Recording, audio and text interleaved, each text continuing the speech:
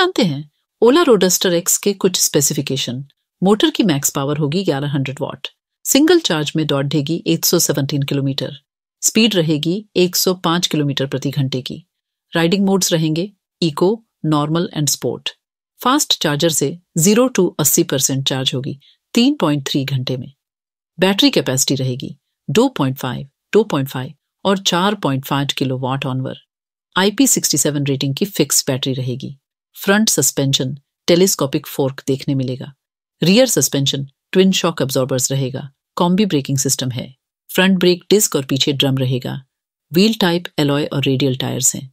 Steel frame chassis देखने मिलेगा। Instrument console speedometer और ओडोमीटर डिजिटल रहेंगे। इसमें रिजेनरेटिव ब्रेकिंग दिखने मिलेगी, किंतु हिल असिस्ट नहीं रहेगा।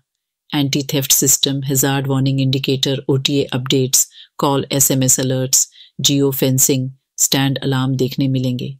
Mobile phone, connectivity, battery status, live charging status जैसे फीचर्स रहेंगे।